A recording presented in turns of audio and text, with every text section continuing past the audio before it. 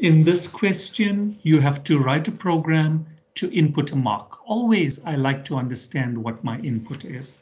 So I have to input a mark obtained by a student. Find the student's symbol using the table below. So if the mark range is 100 to 80, that means the student gets an A. If the mark range is 70 to 79, the student gets a B. I think you understand it. It's quite clear. Depending on the range of the student's mark, you then get a symbol. So you have to output the student's symbol together with an appropriate message. So if the input, this is just an example. If the input is uh, 67, right? 67. Does 67 fall into that range? No. That range? No. Does it fall into this range? Yes. The symbol is a C, so your output should be the student, the student's symbol is, and it's a C. So again, you have to do a whole lot of checking. It's just a whole lot of checking that needs to take place. And whichever one is true, it then works out the symbol. This, in my opinion, is not at all difficult compared to the previous one that we were looking at. All right. So let's see how to code this. I am now going to. So there we are. Let's start.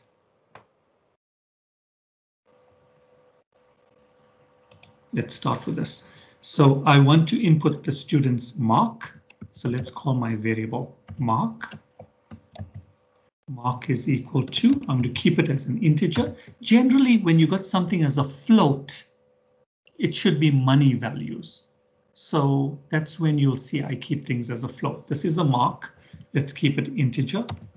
Input. Uh, I'm going to say enter the student's mark. Right. Now let's put a comment. Um, check what I'm doing. So I'm just going to keep this open. I need to see what my range is. So the first range is if mark that I've just input is less than equal to 80. If it's less than equal to 80, then the cell is an A. So there's two ways of doing this. I could display it immediately, or I could have a variable to store the symbol. But let's go straight and let's display, and I'm going to say the students symbol is, and in this case, the student symbol is an A. There it is. Mark is less than equal to 70. If it's less than equal to 70, then now at this stage, I'm hoping that you all I've learned how to copy and paste. So I'm just going to paste control C is to copy, control V is to paste, and I'm going to say the student symbol is a B. So you may be thinking, but um, how come I'm not checking the range from 70 to 79? I'm only checking if it's less than equal to 70. Keep in mind what the previous check is doing. The previous check is checking to see if it's less than equal to 80. So if the person enters 79, then this check automatically fails for 79. Right? And we then look at the next check. So I'm just looking at my code and I'm just wondering there's something not right here. If it's greater than equal to 18 and equal to. And here I'm going to check greater than equal to 70. So let's let's let's look at this again. If the person has 85, 85 is greater than equal to 80, therefore it's going to print an A. Anything greater than 80, it's going to print an A. Now, if you have a 79, which is just less than an A, 80, that means this condition fails. And now 79 is greater than equal to 70. Therefore, it's going to print a B. OK, so this condition, I just needed to write it a little differently. And then I'm going to go else if mark is greater than equal to 60. Right, control V is to paste. The symbol is a C. Else if mark is greater than equal to 50.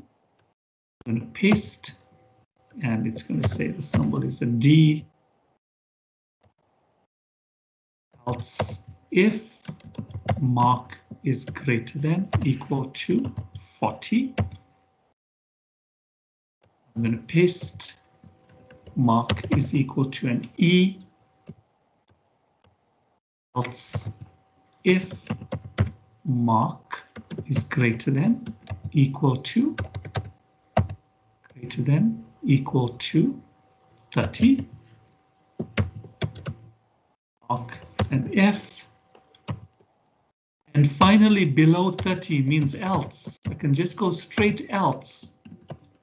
And the mark is a G right?